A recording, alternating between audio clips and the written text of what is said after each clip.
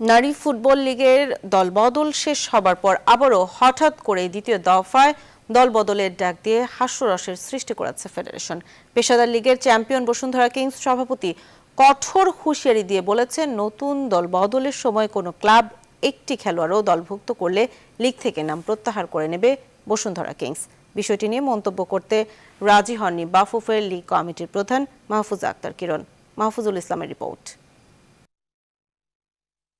দিয়ে এবার নারী ফুটবলে দলবদল করে বসুন্ধরা কিংস। পেশাদের লিগের চ্যাম্পিয়নরা ছাড়া আর কোনো প্রিমিয়ার লিগের ক্লাবই শেষ পর্যন্ত নারী লিগে নাম অন্তর্ভুক্ত করেনি। আট দলের অংশগ্রহণে পনেরোই ফেব্রুয়ারি থেকে ছয় বছর পর আবারও শুরু হওয়ার কথা নারী ফুটবল লিগ।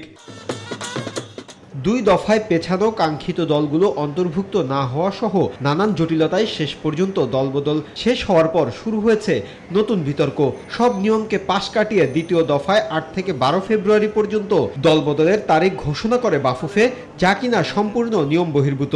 বিষয়টিকে অনৈতিক উল্লেখ করে বসুন্ধরা কিং সভাপতি দিলেন কঠোর হুঁশিয়ারি। যেখানে দলবদলের শেষ হয়ে গিয়ে দলগুলো প্লেয়ার রেজিস্ট্রেশন করিয়ে ফেলেছে, সেখানে আবার দ্বিতীয় দফা দলবদল কীভাবে হতে পারে সেটা আমাদের বোধগম্য হচ্ছে না। প্রথম দলবদলের পরে যদি কোনো দল একটি প্লেয়ারকে নতুন করে অন্তর্ভুক্ত করে থাকে তাহলে সেক্ষেত্রে বসুন্ধরা কিংস নারী লীগ থেকে দল উঠিয়ে নিতে বাধ্য হবে। বিষয়টি নিয়ে বাফুফের নারী উইংয়ের প্রধান মাহফুজা আক্তার কিরণের সাথে কথা বলতে চাইলে তিনি কোনো মন্তব্য করতে রাজি হননি। দলবদল শেষ হলো দলবদল শেষ হলো আবার শুরু হলো।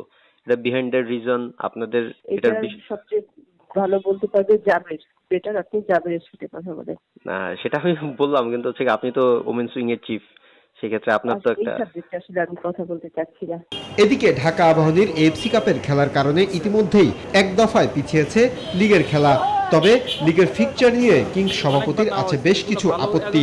সেসব বিষয়ে ইতিমধ্যেই বাফুফেকে চিঠি দিয়েছে ক্লাবটি। নির্দিষ্ট সময় বিরতি চেয়েছি বাফুফের কাছে কারণ যে ফিকচারটুকু দেওয়া হয়েছে তাতে আমাদের কাছে মনে হয়েছে যে আমরা এএফসি এবং লিগের খেলার মাঝখানে পর্যাপ্ত বিরতি পায়নি বাফুফে যদি আমাদের অনুরোধে সাড়া না দেয় আমাদেরকে একটু হয়তো কঠিন কিছু চিন্তা করতে হবে। যেহেতু ছাব্বিশে মার্চ বাংলাদেশের ওয়ার্ল্ড কাপ কোয়ালিফায়ার ম্যাচ আছে, তার পূর্বে আমরা ফিকচার অনুযায়ী যা দেখলাম, বাফুফে হয়তো দশ বারো দিন আগে ক্যাম্পে ডাকবে প্লেয়ারদেরকে কিন্তু সেক্ষেত্রে আমরা একটু একটু কঠোর অবস্থানে যেতে বাধ্য হব। আমরা শুধুমাত্র ফিফার নির্দেশনা মোতাবেক বাহাত্তর ঘণ্টা আগে খেলোয়াড়দেরকে ছাড়বো। তার পূর্বে আমি আমার প্লেয়ারদেরকে ছাড়বো না। বেশ কিছুদিন আগেই গণমাধ্যমের কাছে এফসি কাপের কারণে লিগ না পেছাতে বাফুফের কাছে অনুরোধ জানিয়েছিল ক্লাবটি, কিন্তু সেসবের কিছুই আমলে নিল না বাফুফের। Mahfuzul Islam, news twenty Dhaka.